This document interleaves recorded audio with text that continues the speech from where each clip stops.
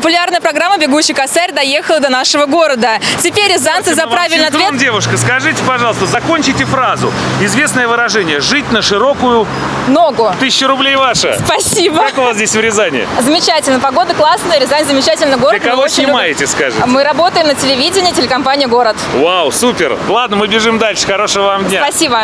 Как своими знаниями заработать тысячу рублей всего за несколько секунд, показывает в своем шоу «Бегущий косарь» ловкий и быстрый, а главное эрудированный ее ведущий Алексей Жиров. Телезрители смотрят его на телеканале «Че», и всего за год существования программа завоевала неподдельный интерес и большую популярность. Ведь нечасто можно встретить на улицах города человека, который задает несложные вопросы и за правильный ответ дарит деньги. Вы знаете, основная цель – поднять настроение человеку. Вот он э, идет в каких-то будничных заботах по городу, я не знаю, с работы на работу или гуляет с ребенком.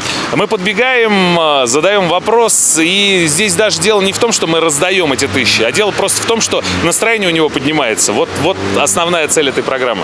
Это шоу по-настоящему встряска для отстраненных и унылых прохожих, которые не ожидают каверзных вопросов и уж тем более денежных подарков. Правда, рязанцы оправдали все ожидания. Ведущего встречали радостно, на вопрос отвечали охотно и чаще всего правильно. Пока прошел только первый этап, мы здесь собираемся провести три программы, то есть раздадим порядка 120 тысяч рублей жителям Рязани. Э, Пока все супер, 15 человек где-то опросили, и ребята не подводят интеллектуальный уровень рязанцев вполне себе. Продолжите, пожалуйста, фразу. СМЕРШ – это сокращенно смерть. Тысяча рублей ваша. Неожиданно. Я думал, туристы ходят, отдыхают. Да, могу поделиться. Какой у вас был вопрос и как вы на него ответили? А, нужно было продолжить фразу в тридесятом, в тридевятом царстве. Да, в тридесятом государстве, да. Мы немножко забыли.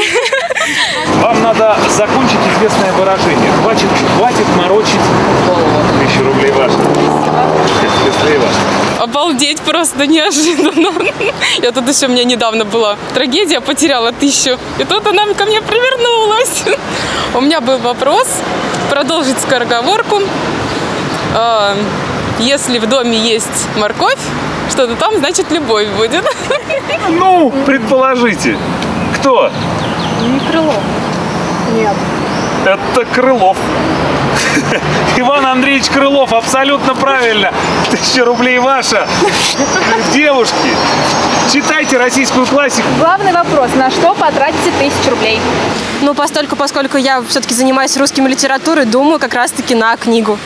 Ну да, скорее всего, на книгу. Было ли там золото древних богов, э, действительно там золотом? Я сказала да, На что потратите тысячу рублей?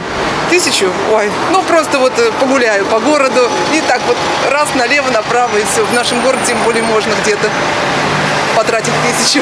В общей сложности ведущий программы пробежал 7,5 километров и потратил около тысячи калорий. А рязанцы стали богаче на 40 тысяч рублей. Кстати, филологи предполагают, что слово «косарь» впервые появилось в 20-е годы прошлого века. Тогда были выпущены ассигнации номиналом в одну тысячу рублей, надпись на которых была сделана по косой. Отсюда и название «косая» или «косарь». Подобные купюры уже давно изъяты из оборота, а жаргонизм прижился и остался. И это несмотря на то, что в советское время деньги подобного номинала практически не ходили.